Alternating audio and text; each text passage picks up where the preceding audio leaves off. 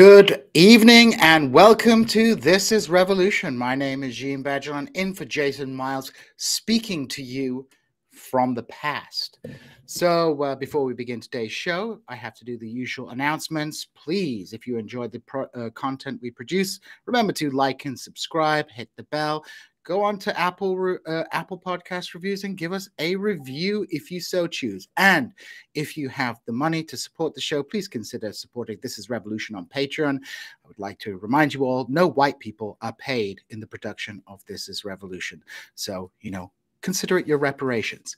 Now, today we have a very special guest and an exciting topic to, uh, talk about. But before we introduce the topic and the guest, I am joined here by my wingman, my sidekick, or maybe I'm his sidekick, the one, the only, C. Derek Varn. Which is it? I think of us as Starsky and Hutch, so I don't know who's who's sidekick. And uh, um, if you are, if I am your sidekick, I will probably shiv you. So, well, that's that that's pretty scary. Um, there are no sidekicks under socialism. Everybody's yes. a sidekick.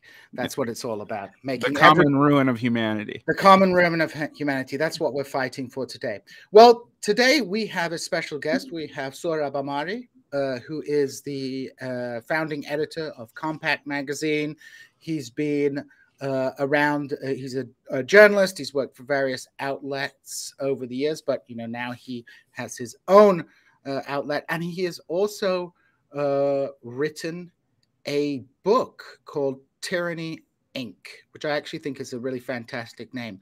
And I want to suggest to him that if his book is translated into Turkish, he should consider taking my Twitter handle, which is uh, uh, Istibdat ve Terakki, which is like tyranny and progress. That's the that uh, that that would be a good uh, name for this book as well, which I thought, uh, which I found extremely interesting. Now, Sohrab is we should say, on the conservative uh, uh, end of the spectrum. Although after reading his book, I am I'm beginning to I'm beginning to question how much of a conservative he actually is. But rather than just talking about him, let's bring him on the screen. Welcome to This Is Revolution, Sohrab. Oh, your sound is uh, your sound is gone. Thank you, gentlemen. Thank you for having me. Well, thank you for agreeing to come on, uh, and uh, yeah, let's let's jump right into it. So you have this new book, uh, uh Tyranny Inc., that's coming out. Uh, well, when this interview is going to be broadcast, it will be out. It's coming out on the fifteenth uh, of August, and it is. Well, when I read the book, I was thinking, this is definitely not the typical conservative arguments that we hear regarding the problems affecting uh, uh, America.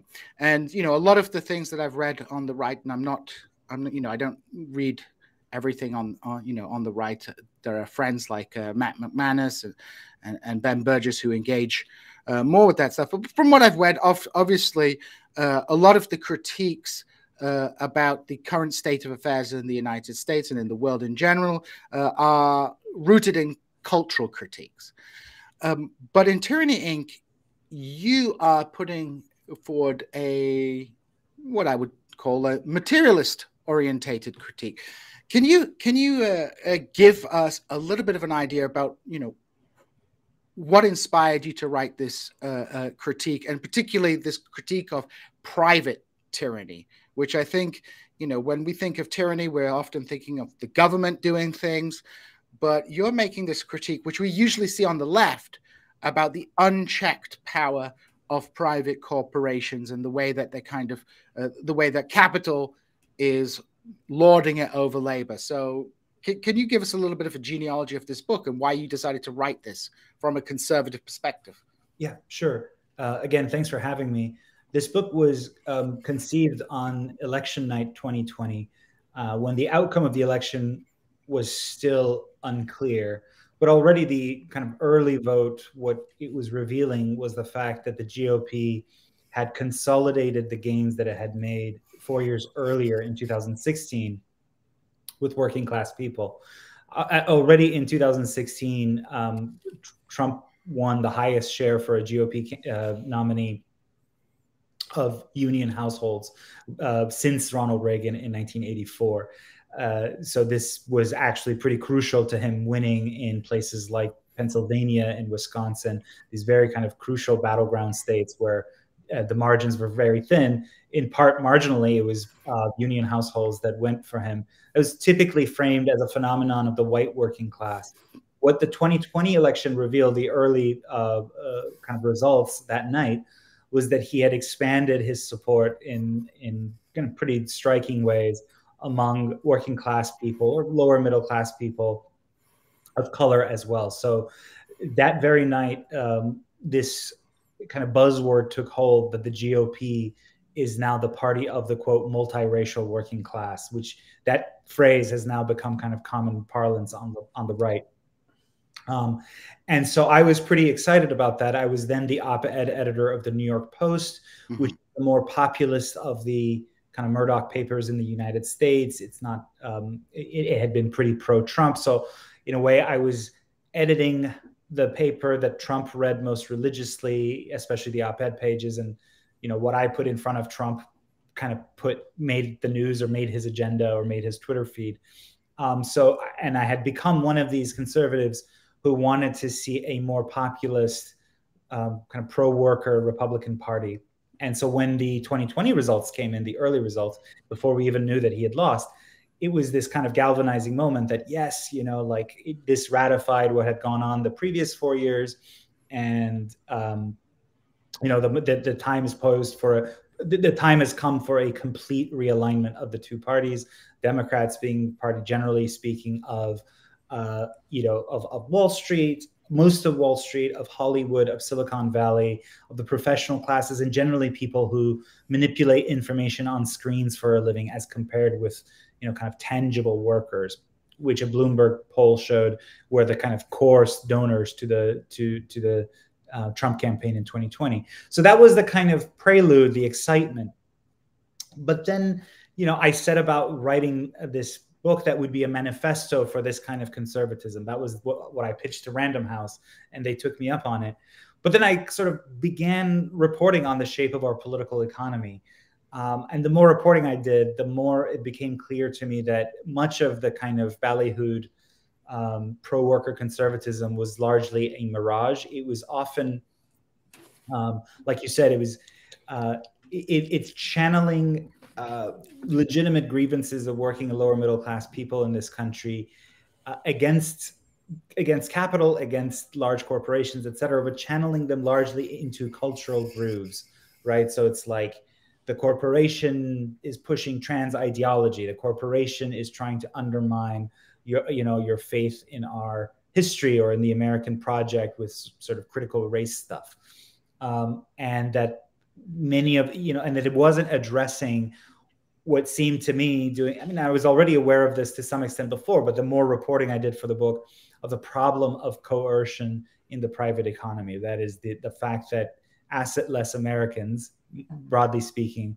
uh, face pervasive coercion in our lives as workers and consumers. Um, and it's a kind of coercion that is unchecked precisely because we ca- we say it's private, um, and therefore this private zone um, is not subject to the same democratic give and take or the same sense of fair play, et cetera, that we associate with our quote unquote public lives. And this problem, especially, is a problem, is a conceptual problem on the right, which is there is this keen awareness of tyranny, um, and even of of uh, of of private actors benefiting from private privilege. This is a kind of pervasive Jacksonian theme going back to the mid 19th century. But the tyranny of just the private itself is something that uh, the right isn't used to talking about. So instead of writing a manifesto, I ended up writing what is largely a reported book where I give a picture of our political economy from the bottom up, from how ordinary people experience it all too often. So, for example, and I'll be pretty brief here, but um, you know workers who want to blow the whistle about wrongdoing but they're gagged by non-disclosure mm-hmm. and non-disparage agreements and the whole way that uh, employment agreements are structured based in sort of neoclassical or libertarian, you know, classically liberal economic theory that they meet employers and employee meet as equals and they both negotiate over the terms of the agreement and walk away you know each can walk away so they have symmetrical power which is just not the case has not been the case you know at least since the middle 19th century right? Since the industrial revolution when there are very few employers and many many more employees. Or the abuse of commercial arbitration in the workplace. Commercial arbitration is this practice that is pretty old the idea that mm-hmm you know merchants or other disputants of relatively equal bargaining power would resolve their disputes privately rather than going to the courts and being able to bind each other not to go to the courts. But now that's been expanded to the workplace mm-hmm. um, so that if you have a um, fair labor standards act dispute with your employer you're, you're being underpaid illegally. You still have to go through arbitration in through these privatized courts where you're much less likely to prevail. And even if you do prevail you're um, payout will be much smaller, or the erosion of the real economy by private equity and hedge funds, and even the takeover of what you could, normal people would consider public services like, you know, firefighting and ambulances and so forth, are now taken over by private equity and hedge funds in ways that, first of all, take jobs away from public servants in those areas um, second of all, they reduce the quality of these services often dramatically. And third, the most outrageous thing that I found, which is kind of I, it's a scoop. It's reporting that I I'm presenting for the first time, is the fact that in many cases the pension funds of these public employees of uh, you know uh, firefighters and emergency services workers, their own pensions invest in private private equity firms who are in the business of privatizing their jobs, and so on and so forth. So um, that's the book. Now, just one last word about how conservative this is. I think relative to the conservatism that emerged um, in the middle 1970s with you know Buckley and and Goldwater, and then especially with the Reagan administration, this is definitely is going to be called you know Sohrab has gone back to his Marxist roots because I used to be famously a trot, etc. Um, but but really, I mean, if you go back to a, a slightly one generation earlier kind of conservatism, uh, you know, you you you encounter a conservatism that was more at peace, for example, with the New Deal, because these, you know, Eisenhower, Nixon, et cetera, were men who had lived through the New Deal era, and they understood why, um, you know, unrestricted private power was a problem that required collective action, including governmental action and response um, and they they were much more pragmatic and less ideological. So, you know, we can get into like how this might play out in the conservative movement, but I try to sort of frame this as a project of recovery that, um, you know, social democracy or the idea that the market should be enveloped by more political restrictions to ameliorate this power imbalance is a, an idea that used to be legible to people on the right as well. I mean, I'll be honest. Like when I picked up the book and started looking in, it was not what I expected uh, from from a book. I was certainly expecting, you know, a polemic, but I just wasn't expecting like uh, a detailed deconstruction of the the the you know issues of corporate power in in, in the United States. So it really it, it uh, challenged my expectations. And you know, when I was preparing for the show, I'd been you know looking at some of the reviews as well. I mean, your book was uh, compared favorably with that of Patrick Deneen's Regime Change, which is coming out at the same time as well, precisely because you know it's offering this kind of uh, uh, uh material uh, critique. So, sort of, I guess what I want to say, uh, ask next then is, you know, you offer this powerful critique of like private tyranny. You give a lot of different examples. You know, the introduction's a little bit of a bait and switch as well. You kind of like, uh, I won't ruin it for people, but you you kind of play the kind of bait and switch game uh, to to make people, uh, which made me, which made me, which was what the first thing I was like, okay, that's quite a good set up for the book. Well done, bravo, you got me. Um, but why does this matter to conservatives, right? Uh, you know, you, you you're open about your Catholic faith. Mm-hmm. Um, you know, you're you're a religious person. Um, why do you think this is important for conservatives to, to conservatives to take on board? Why must they uh, uh, take this material critique seriously rather than just dismissing it as like Marxist claptrap, jealousy, this kind of things? Right. Really, really, really, uh, good question. We'll see if they take it seriously. I, like I said, it's this will be, you know, my books are always reviewed like in in the major places like the Times and Washington Post and stuff. And I think this will be the first time where um, very likely left of center outlets will have started to write pretty uh, favorably about it. Um, and so far as there's only one right of center outlet, it was it was it, it wasn't a well argued review and it was negative but there will be more forceful kind of free market types who will come out against the book. So we'll see about its reception. But to answer your question why does this matter? Well the, the reason this matters is the fact that this matters uh, is or should matter to, to people who call themselves conservative or traditionalists um, is one of my major frustrations. It's why I'm much more uh, populist and even you know in terms of my political economic analysis overtly materialist than any, many of my peers on the right is because I'm I've been part of the conservative movement for more than a decade. I started my career on the Wall Street Journal editorial page, which is like the bastion of uh, actually it should be called neoliberalism, right? It's it's the voice of uh, you know low taxes, uh, un, un, unhindered free trade, etc. And many of my fellow conservatives constantly lament various cultural phenomena that they're right to lament, right? Um, and we could get into that, but I think you know there are objective criteria of human flourishing, and this is what conservatives are can be right about. Like we we are political animals, we are social animals, we like to live in community. We need we have this element of need, needing belonging and and um, and faith, etc. And all of these indicators are on the decline or have been for a while especially drastically under the neoliberal era, right? So uh, beginning, you could whatever you want to date it, late 60s, mid 70s, early 70s. But since then, you know, conservatives point out uh, marriage rates declining, uh, church attendance rates collapsing, collapsing particularly among working and lower middle class people, right? Not for the most part, interesting enough, the American upper class still gets married, stays married. They are churched relatively, at least were at least a decade ago when Charles Murray did his study of the two Americas coming apart.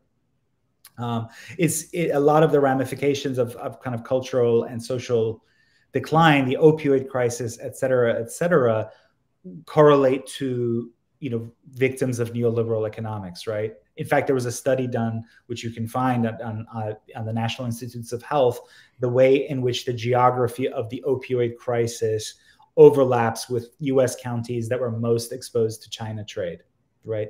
So, and, and, and it's very, very frustrating for me on the right because my fellow conservatives or uh, what have you will lament these cultural phenomena and they're right to lament it, right? Um, but they never then say, well, what, what possible material economic roots could these phenomena have? Now, I, I'm not a crude materialist. Culture has its own logic and, and not everything is reducible to economics. But clearly, if you are unable to kind of pay the bills with like one working class job or two working class jobs at most, that you have, you're finding yourself working with uh, in this kind of precarious condition with no sense of security. If, as the Federal Reserve finds, um, nearly half of Americans would struggle to come up with $400 in cash to pay for an exigency. That is, nearly half of our fellow Americans, one and two, if they were had if they had to pay a four hundred dollar bill, they'd have to turn to credit cards or uh, you know like short term loan sharks, etc. Obviously, that's going to ramify in how whether you're able to stay, spend time with your kids, whether you're able to form families, whether you want to even have take the risk of starting a family and getting married. And um, the response of the conservative movement, which I think is more cynical than naive at this point, is like if only we just shouted louder about how marriage is a good or how you know you, you should do this you should you should spend time with your kids and seek work life balance etc if we just said that more people would would live a different way. And so and they don't. And the reason that that kind of project of conservative culturalism as i call it in the book has failed is because it's divorced from from material reality. So it is very important. Um, i would say there is much in the sort of if we step back from like GOP conservatism of recent vintage and turn to, for example, Aristotle or St. Thomas Aquinas, you know, these kind of uh, voices that the that the right should take seriously, you will find much that says, yeah, you know, people are formed by law, and law included in the kind of classical and Christian conception included political economy, and so uh, if you if you want people to be able to even contemplate the higher things, which is Aristotle's definition of happiness and virtue, they need to have a measure of material security to be able to do that. If you have like lots of people who, who are constantly living precariously, they can't reach for a more virtuous life. So I mean, yeah, I mean, I think this is uh, something that I think some people on the left have been screaming about for a long time uh, as well. You know, we have this, uh, you know, we have a country, for example, where the Republican Party and the Democratic Party, to to a certain degree, you know, claim that they're working in favor of families, but this is a deeply anti-natal country. Even in conservative Britain, they give you 15 hours of uh, free childcare, whereas in America, you know, your salary gets dumped on it. It's just impossible for uh, uh, people to live a traditional life, even if they want to. Uh, you know, it's hard. You even if you're middle class, if you want to maintain a middle class, you know, lifestyle, you both have to work, and if you both both parents have to work, that means you know less time with the children etc etc i mean i think these are all very important uh, uh, critiques which is it, it's interesting to see them come out uh, because you know like like you said often the social problems in the country are framed in an entirely culturalist way rather than thinking like hey we took all the jobs away from people in west virginia then we also relaxed the opioid prescription regime. And then I uh, wonder what happens when all these people end up like out of work and with cheap opium going around. What could be the result of this? You know, like perhaps it's not just that they're morally decadent, uh, etc. Well, I, I, don't men- I don't mention this in the book, but it's well known because ProPublica reported on it. But you know, the American Enterprise Institute, which is the voice of corporate America, it is like it's it's the think tank of of corporate interest. Uh, you know, one of their fellows was um, uh, interacting with Purdue Pharma, uh, sending her op-eds, which are always in praise of Purdue Pharma, to the CEO before they were published, and kind of getting attaboys from them. Mm-hmm. Um, and uh, you know, meanwhile, AEI had had received hundreds of thousands of dollars from from Purdue Pharma. So, I mean, in some cases, as I said, it's not naivete. It's it's much more blatantly cynical. So, um, as my last question before I hand over to Varn, what I want to ask is, you know, the general conservative line is obviously that, you know, the government is the primary source of, of uh, tyranny. How do you how do you see the role of the government in, in, in general? Do you see the government as an answer to this private tyranny? You know, what kind of balance do you want to see between the the the uh, the state and private enterprises in civil society? You know, what's the balance you're looking for? I mean, obviously, you're not in favor of you know like workers control you know the dictatorship of the proletariat etc cetera, etc cetera. but you know what kind of balance would you like uh, to see would you like to see something like a sanders uh, you know a sanders program uh, being implemented yeah. i mean is that what that's what it seems from the story you said at the beginning about how this was originally going to be a manifesto and it turned into a critique it seems that you're disappointed with the outcome of Trump. That that Trump was this op, uh, opportunity that you saw to have a more uh, pro-worker conservatism, but at, as you said, it seems that you just have like I don't know the the the, the things have fallen from your eyes, and you're like. This is uh, cynic- They're being cynical. They haven't implemented this program. So, what what do you sure. want to see? Okay. Well, first, one sort of theoretical point, which um, you know will resonate with both of you if you take seriously uh, an economic, a left economic histor- historian like um, Karl Polanyi, right? Mm-hmm. Um, and of course, much in the Marxist tradition that says that, yeah, I mean, this the state is often, you know, the apparatus of market society, right? In other words, the reason that we have a market society in the first place was the result of enormous state coercion. Uh, the Hamiltonian state displaced the more subsistent, uh, subsistence, uh, subsist, uh, please cut that if possible, a subsistence-oriented kind of patriarchal economy, um, and it cor- corralled many sort of uh, former kind of patriarchs and and and peasants into uh, kind of proletarianized labor markets and so on and so forth. You know, in our constitution, they barred the ability of the states to modify contracts in favor of debtors. Um, the whole Hamiltonian apparatus of import substitution, uh, internal improvements, including taxes, which were very unpopular among common people, to fund those internal improvements, all aimed at creating a national market. All of this was kind of state coercion. So, um, the first thing to say is that one way or another, um, the state is involved in political economy. And so the illusion that there is this, and this is a right wing illusion that there is this pristine area called the economy, um, and then this other area called the state that occasionally intrudes or obtrudes upon um, the economy is that is just that it's a it's an illusion.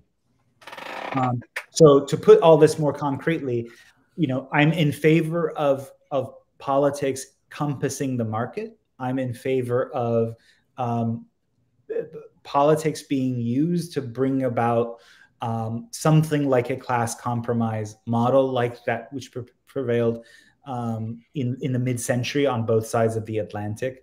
Um, what that particularly means in the year 2023 is different than what it meant in 1945 to 1973.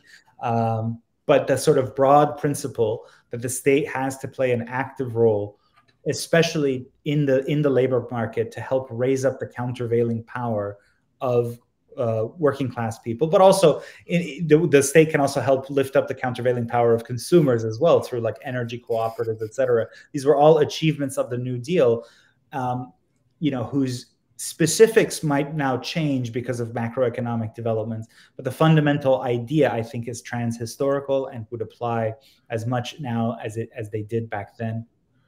Um, so I think you know I, there's a lot in the Sanders program that I would sign up for. Medicare for all. Um, I've you know I didn't write about it in the book, but this kind of pervasive insecurity that you have in the United States, where if you get sick, you, could go bankrupt or live for a lifetime under.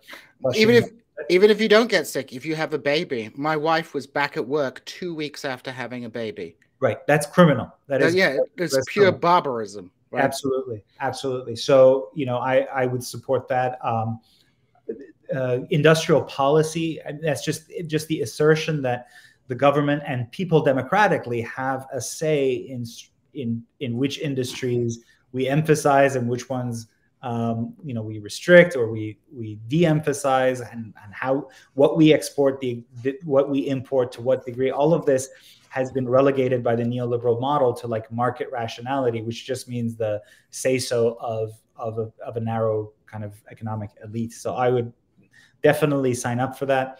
Um, I think, by the way, that the Biden administration has done relatively decent job at, at the level of like its National Labor Relations Board, which typically Democrats are better. But I think they've gone a little bit further in recognizing that the country has a uh, severe deunionization problem and so you know you want higher union union density.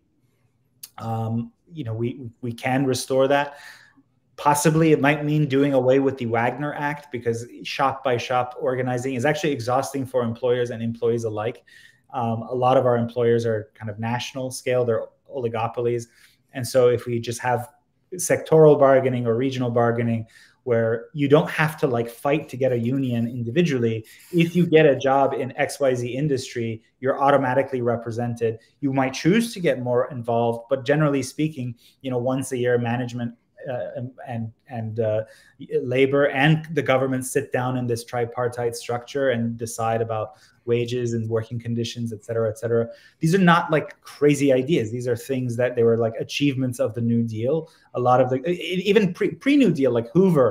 Uh, had a lot of these ideas with association associationalism. A lot of progressives think like they think Hoover and they, they kind of confuse him with Calvin Coolidge, who was a kind of free dogmatic free marketeer. Hoover was much more complicated, and he ha- a lot of his ideas ended up getting fulfilled in the New Deal. Yeah. Anyway, that's all I'm saying is is is is, is restoring what I call political exchange capitalism, which just means that the market is subject to to greater political control, and so that or, working people don't experience the market as this thing that is imposed on them from above and coerces them relentlessly, but have a say. They can push back, they can countervail the power of the large with equally large counterpower.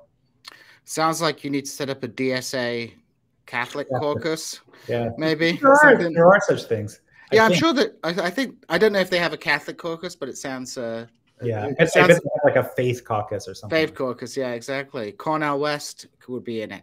So I'm going to hand over the questions to Varn to talk about some of the big picture questions beyond, uh, you know, beyond your book, uh, Tyranny Inc., which I I really do recommend people uh, pick up a copy. Like I said, when this is uh, interview is broadcast, it will be available at all good uh, book places, and there's a link in the description for those who are interested always important to engage with lots of different ideas. So, Varn, please take over the driving seat. Yeah, I get to be the negative part of this dialectic.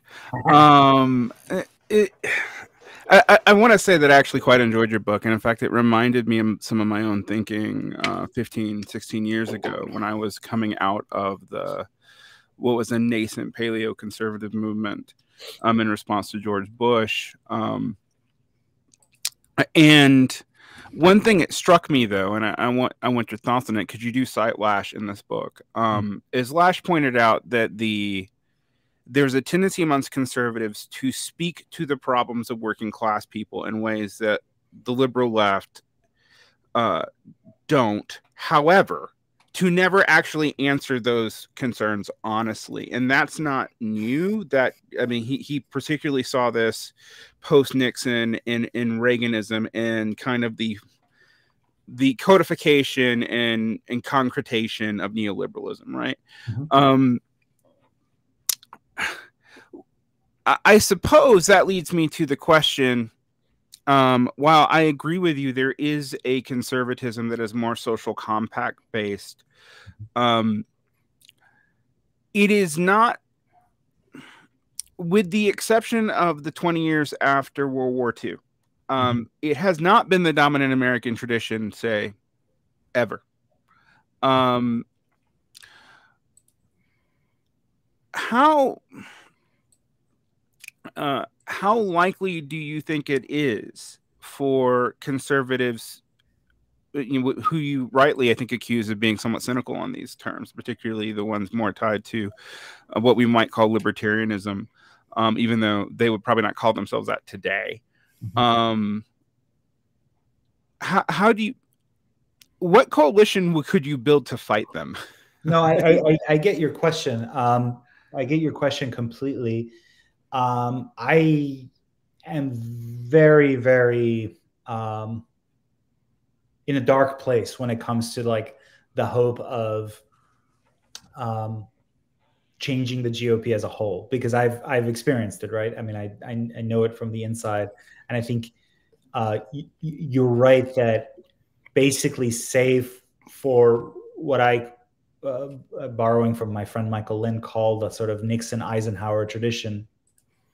For the most part, the American conservative tradition, if you think about it as the Federalists, the Whigs, and then the modern Republican Party after Lincoln, um, including Lincoln himself, has always been the party of kind of the self-made man, the you know uh, entrepreneur, um, and and always thought of the worker as an afterthought, except occasionally in these um, in these uh, uh, kind of uh, cultural odes that it sings to the worker as such, but without ever without rarely delivering delivering much concretely. So I think I think your your point is well taken on that, and I see that play out where Um, just to give another example, um, you know, the right has now marshaled so much energy over um, corporate wokeness or cor- corporations' cultural stances that it's beginning to actually have some marginal effect.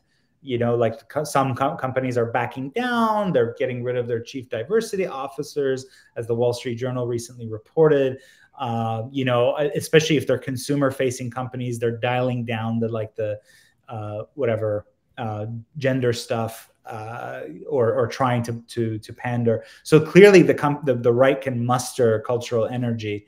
Um, but the one thing they won't address is if you if you address the fundamental power imbalance in the workplace, you reduce the likelihood of the employer shoving his ideology down the down the throat of the consumer and the worker, regardless of what that ideology might be. They won't they won't go there, right? So it, the the fight against woke capital is only is largely largely, or they complain so much about uh, big tech domination, uh, the fact that um, you know a few oligarchs can basically unperson you, whether it's Elon Musk, which with his increasingly kind of creepy direction that his ideology goes, or it's you know Zuckerberg. Either way, you you know uh, public discourse is at the mercy of oligarchs. But then when it comes to like actual reforms, you're more likely to get stuff out of someone like Lina Khan, who's president Biden's um, competition czar than you are out of any of the sort of uh, even the populist Republican types who complain about big tech on on Fox News but don't ever actually deliver policy wise. So where can you find the coalition? I think there are a few exceptions, and they're because they're look when you have a lot of a lot of downscale voters turning to the GOP, that at some point might have some effect if they if they have enough just sheer desire for political survival that they for their own perfectly cynical reasons might begin to shift. But that requires um, that requires those working people to actually make demands of the gop if they're going to vote for gop and how do you do that? Well i don't know but that's that's partly a work of um, conditioning um, uh, unions and the GOP to interface together more. Believe it or not, it is kind of happening a little bit, uh, precisely because look, unions can see that a lot of their rank and file, especially in certain type of tangible industries, uh, you know, carpenters, roofers, electricians, et cetera, in, in railroads, et cetera, are, are politically can be drawn to the to the GOPs. They have to figure out, okay, how do we how do we work with with unions and reduce the mutual hostility between the two? Um, that involves obviously the, GOP not being so um, sort of prima facie against unions. Um, it also does kind of mean though, that, and I think I've, I've, I've long advocated for this, like the, if, if, if the labor movement were more just about labor instead of like, if, you know, as, as, uh, if you like go to the page of any like a national unions, it's not the same at the local level, but at national unions, um, so much of it will be like you know maximal reproductive rights are what labor is what labor is all about. And you're like well but like a lot of your rank and file members don't believe that. And you're gonna you know if there's coalition building to be done uh, it would be stifled by that. But i still think most of the initiative has to be taken by republicans and republicans responding to the fact that they have these voters and they'll lose them. And i think they will lose them already in 2024 for not having delivered for them. Uh, um, yeah, go ahead.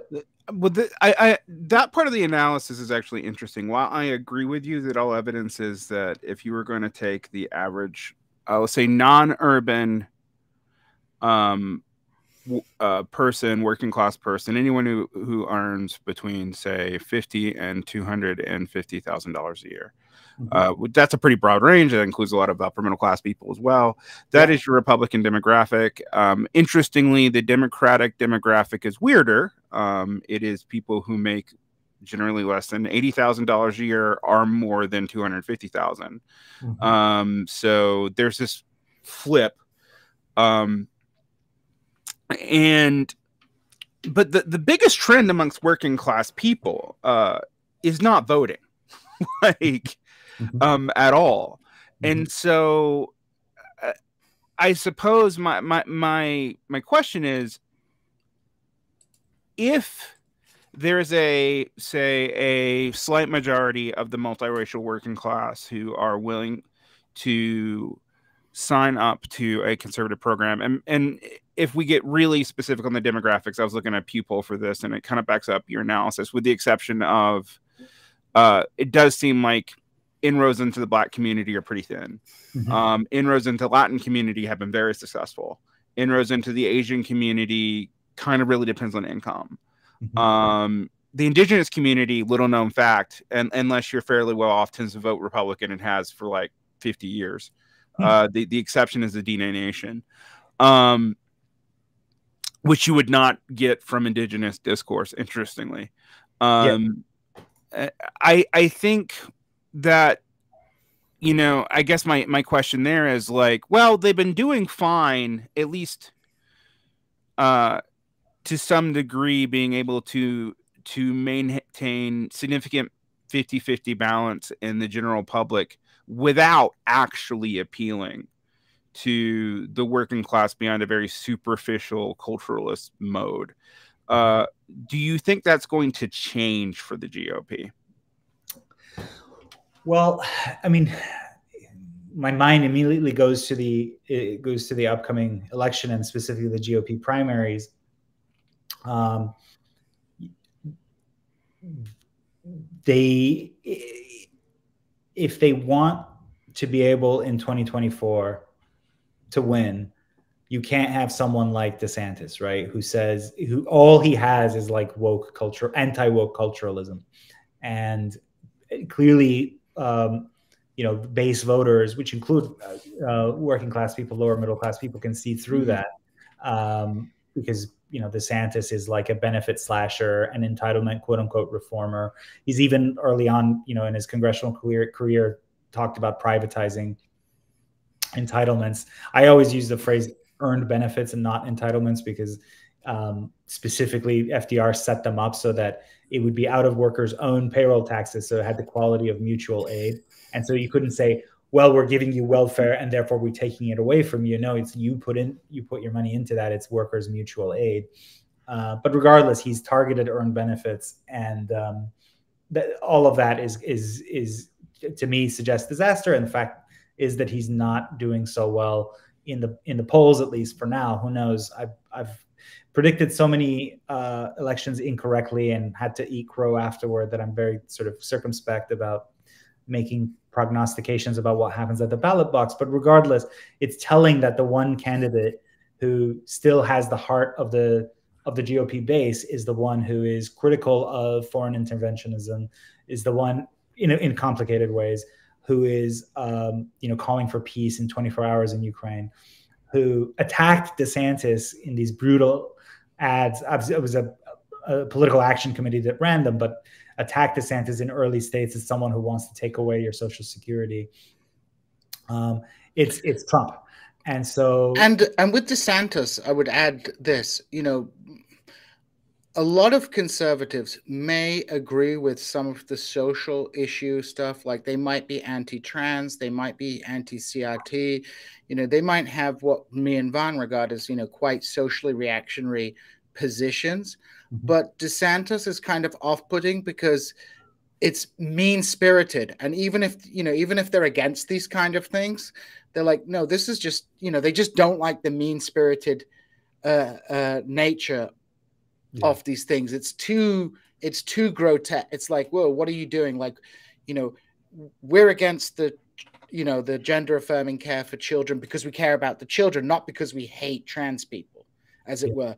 But like there's such a, a vicious and mean streak to the culture war, which plays very well for a certain uh, uh, plays well online with plays like, well online.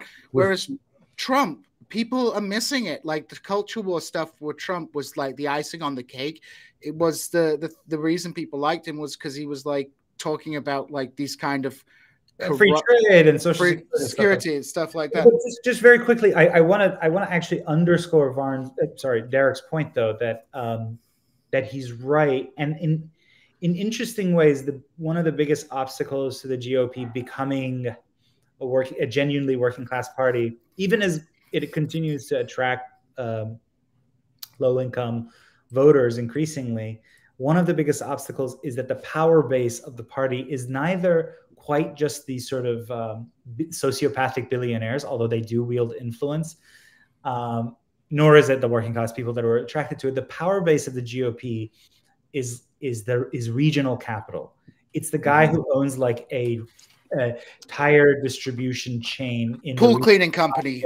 Pool cleaning company. Yeah, yeah. blessed, blessed are the yes. It, this is what I always tell people. I live in Springfield, and if you want to know who the Republican base are, it is the Chamber of Commerce, the Chamber of Commerce, and conservative professional managerial class types. Right, and also people, you know, the people who go to the rubber chicken dinners, toasting mm. the self-made man, etc. And that is in some ways from for, for what I aspire to. I know that's not for you guys. The sort of political telos is not class compromise, right? You you you want, but for me, if I if I think I want something like social democracy and and merely class compromise is good enough, and perhaps the best we can achieve, you can actually in some ways it is easier to get that in the clash between large corporations and large labor unions.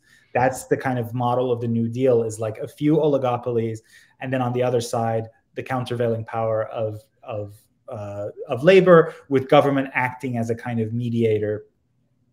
Um, it's much harder to make that pitch and to sell that to regional capital because and, and it's it's typically someone who is it's it is the Jacksonian type. It's like I'm mad that like large corporations are doing well. I am much more uh, vulnerable to the vicissitudes of the market.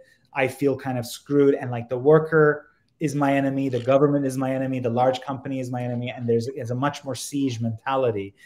Um, and I don't know, I, I don't have a point. I, I can't put a good note on this. I'm just agreeing with Derek that, that for structural reasons, maybe this shift won't ever happen. But you could get you could get um, some pieces of good legislation where uh, you know individual members of the right because of who their voters are you know work together with i don't know liz warren or bernie sanders to get you know concrete things done um, so yeah. you're not you're not so much hoping for you know like you you don't hope well maybe you hope for of course but you're you would like to envisage a situation like even if you can't change the whole republican party you'll have a political situation similar to that of the early 20th century where you would have republican and democratic progressives. There wouldn't be so much of an ideological difference between the two parties which would create an opportunity for better pro-worker legislation coming out of both parties. Would you say that's a more realistic hope?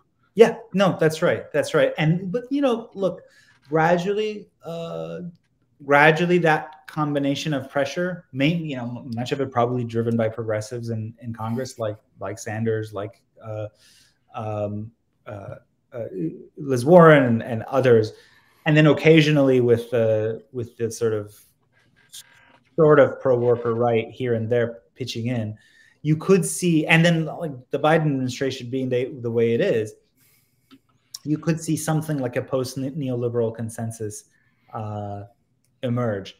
And it, it does have to be sort of a consensus of the middle. And so that here's another thing that makes it a bedeviling problem is, um, you know, neoliberalism, the New Deal was a consensus of the mid middle.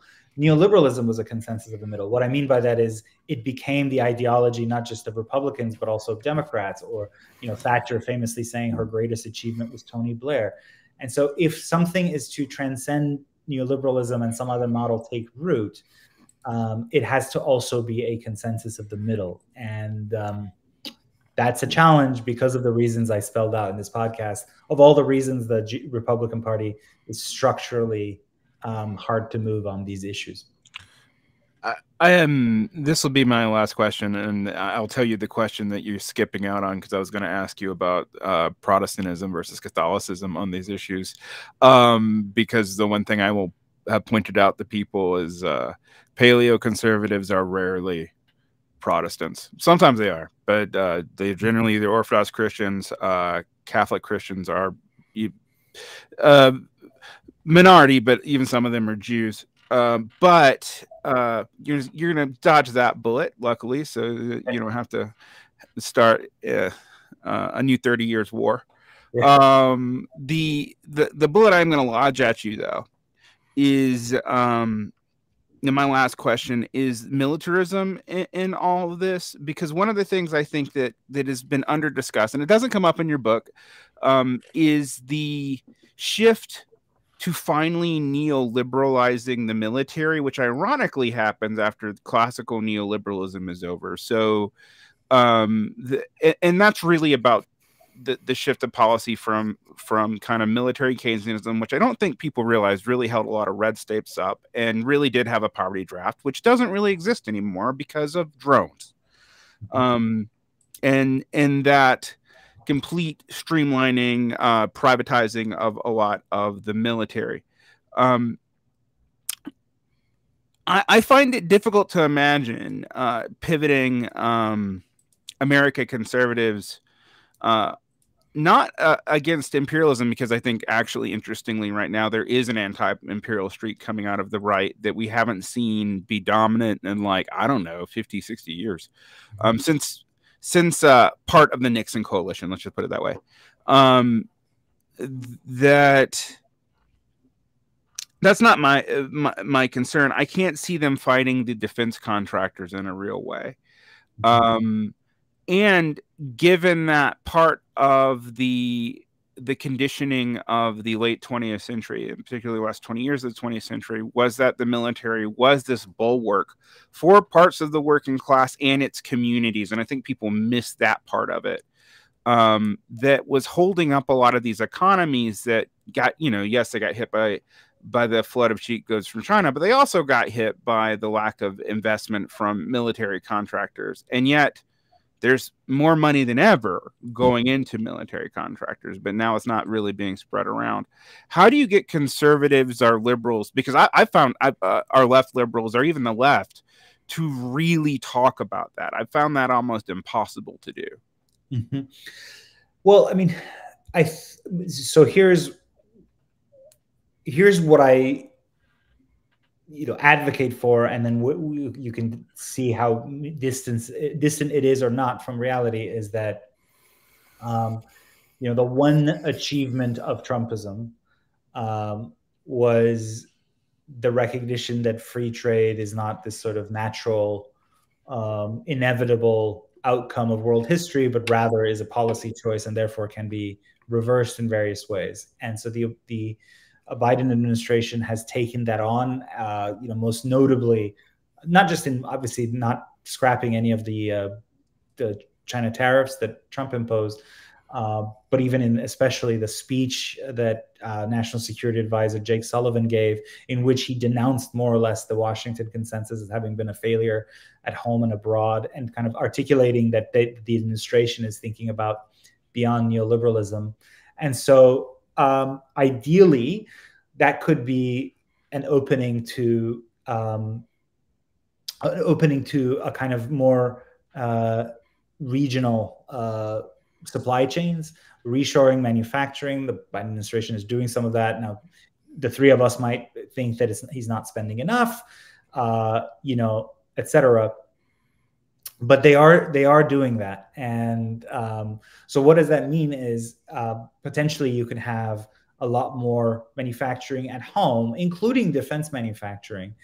The worry that i have and maybe this addresses your concern is that instead of saying hey we're going to reshore manufacturing we're going to be doing all this because working class has been battered in this country and we want to sort of reconsolidate at home much of it is driven by kind of you know um, uh, a desire to have one last hurrah of a century of the American century, which doesn't tolerate you know other powers uh, even asserting themselves in their own near peripheries, and sort of confronts at every stage you know the slightest thing from China.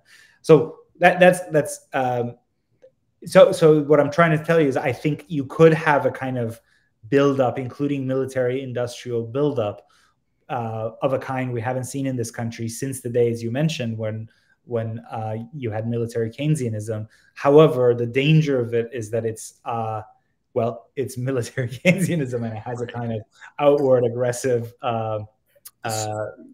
uh, sword pointed at the world and ultimately at ourselves. Therefore, it's the gunboats of neoconservatism, right? Like that's that was the the the the the quiet part that was, I guess, made loud by the Bush administration, but nonetheless. Yeah. So, so you have you're concerned that you know, like we might get an industrial policy, but you're concerned that it might be sold to the public as a military necessity rather than something to, to benefit uh, to benefit. Yeah, yeah, and also, I mean, or or um, you know that it that even the possibility of having letting this industrial policy play out and reconsolidation at home and sort of building back up at home will be wasted on a war. Mm-hmm. Uh, we mm-hmm. already had wasted 20 years on these kind of pointless uh, 9/11 wars, which I, as a sort of younger conservative, you know, uh, cheered. But to be fair, I was in my like mid 20s. Um, there were much older men who actually made the big decisions. but but um, you know we we you know we all learned that, that they were a disaster. So like the pivot to immediately now sort of confronting not just one nuclear power but two um, nuclear powers uh, and waging wars for democracy again, et cetera, et cetera, is a little bit uh, scary and it, it, risks wasting, I think, you know, another 20 years. Uh, yeah, maybe the US can fight for Taiwan. I don't know. I, th- I think it'd be a utter catastrophe. But at any rate, what it will mean is that the kind of reconsolidation that this moment promises won't play out. And that's the really scary part where, um, you know, on the right, there is some skepticism of foreign interventionism, but too often it's like, no, no, no, you, you can't. You see, we can't fight Russia because we have to go to war with China. China. Uh, yeah, I mean, I mean that's the problem with a lot of, uh, and I've said this before, and I think other people have obviously said it before. Often the debate around anti-imperialism is is actually just a tactical debate over where the uh, empire's resources should be deployed rather than saying like you know maybe maybe we should be you know considering winding the whole thing down and uh and I think that leads to confusion. So at this present moment, the Republicans are against the Democratic Party war in the Ukraine, but that's because it's the Democratic Party war, not because it's a war per se. Agreed. Yeah. But uh, well, we're running up against the hour, um, so you know, I want to thank you, Sohrab, for your time and just reiterate, you know, there is a link to the book Tyranny Inc. in the description. Uh, you can get your copy. I believe it's on Audible as well. Do you have anything else uh, to plug before we go? No, just, no? Uh, you know, hope people like the book. I mean, I think um, even if you, the, the kind of larger arguments about, yeah, politics should compass the market and not the other way around are familiar to you, I think you'll be struck by the, some some of the reporting, especially you know the financial reporting in terms of how um, companies are so hollowing themselves out at the at the altar of or, or, kind of stabbing themselves on the altar of private equity and hedge funds and especially the public services are divesting you know their own workers jobs using their own the workers own capital in the form of their pension contributions. That's genuinely new and i think it'll open some eyes, even if you disagree with um, my larger class compromise frame, mid-century frame. But uh, I definitely hope we can have you on again to talk about some of the other things that uh, you guys are doing over at Compact, which I, I, I, I read and I find has things that make me angry and things that I agree with. But you know, that's uh, that's what we set out to do. So thank you. Um, Varn, anything else before we head out? Uh, this has been a, a lovely conversation, and I I, I do think um, I would tell my leftist audience, uh, you do need to talk to people who don't share your political values more often. Um, and so, you know, one of the things that I have encouraged is is talking to people on this uh, conservative anti-imperialist. I've talked to Scott Horton, who's, you know, his his uh, economic politics I think are insane, but uh, we stand on similar grounds in regards to anti-imperialism, and and talking to you, who while you're right, we don't share a telos. Um, I, I tend to take class compromise. I, let me put it this way: I would love for it to be possible. Um, and that's that's one of our big differences, but. Uh, but I think it's important that we do that in these in these things, and that's a, one of the things um, that I think kind of needs to happen in this current moment because everybody seems to be hitting a wall, and when you do that, the status quo just plods on. So, agreed. Thank you both. Thank you. And as we say on This Is Revolution, we are out.